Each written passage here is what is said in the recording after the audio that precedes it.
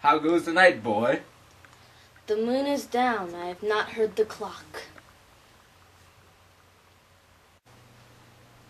And she goes down at twelve. I take it tis later, sir. Hold, take my sword.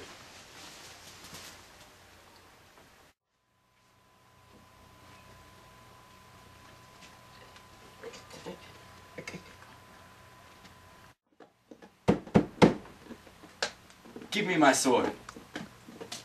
What's there? He's a friend. What, sir? Not yet at rest? The king's abed. He hath been in unusual pleasure, and sent forth great largess to your offices. This diamond he greets your wife withal. By the name of most kind hostess, and shut up in measureless content. Unprepared, our will became the servant to defect. Which else should free have wrought?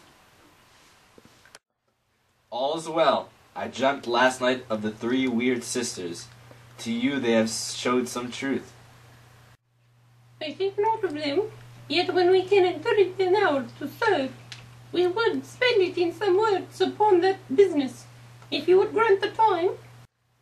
At your kindest leisure. If you shall cleave to my consent, when 'tis it shall make honor for you.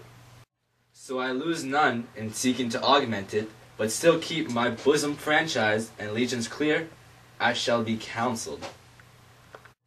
Good repose the while.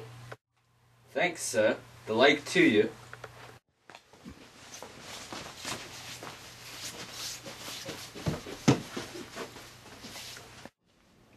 Go bid thy mistress, when my drink is ready, she strike upon the bell. Get thee to bed.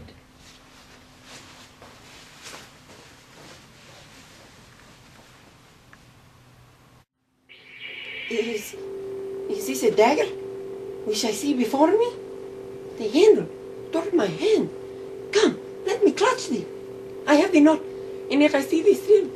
Art thou not fatal vision, sensible to feeling as suicide?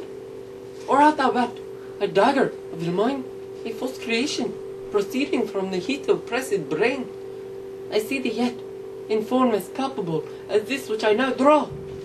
Thou marshallest me the way that I was going, and such an instrument I was to use. Mine eyes made of the fool's other senses. And else, what all the rest? I see thee still, and on thy brain, and dungeon gouts of blood. There's no such thing. It is the bloody business which informs thus to mine eyes. Now over the one half world, nature seems dead and wicked dreams abuse the curtained sleep.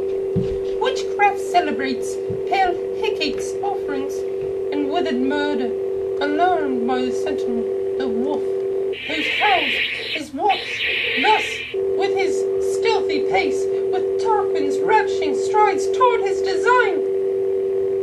Thou should firm set earth, hear not my steps, which way they walk, for fear, in thy very stones, prates of my whereabouts, and take thee present hold from the time which now suits with it. While I threat he lives, warrants to the heat of the deeds till cold breath gives.